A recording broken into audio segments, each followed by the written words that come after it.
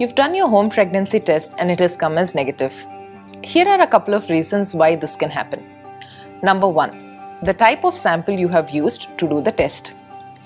Ideally, the morning void urine has higher concentrations of pregnancy hormones beta HCG. So, if you're using a sample little later in the day, be it your afternoon sample or evening sample, there is a possibility that the test can come negative.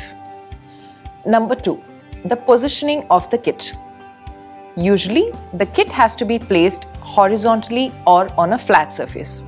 So, if you hold the kit vertically or diagonally, there is still a possibility that the test can come negative. Number three, this is a common query a lot of us have. Does drinking excessive of water or having food affect my pregnancy test result? Having food usually does not impact your pregnancy test, but having excessive of water does dilute your urine and make it difficult to pick up the pregnancy hormones in the urine. Number four, the kit probably in itself is not very good at that particular point and is not able to detect the pregnancy hormones.